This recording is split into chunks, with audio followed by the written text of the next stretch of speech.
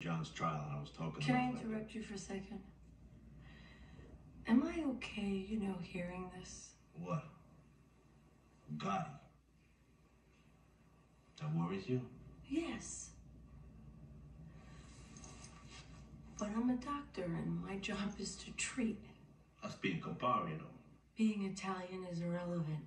I run a psychiatric practice, not a zeppole stand at the Feast of San Gennaro.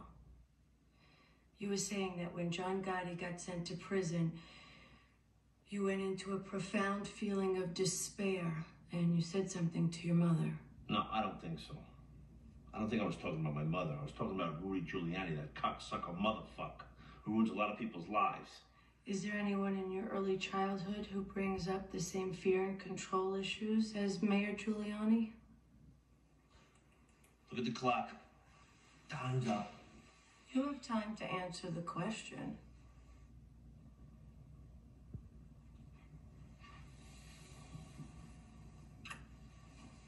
That is absolutely out of the boundaries of what we do here, Mr. Soprano. You're the most fantastic woman I ever met. I'm not going to kick you out of therapy so you can stop trying.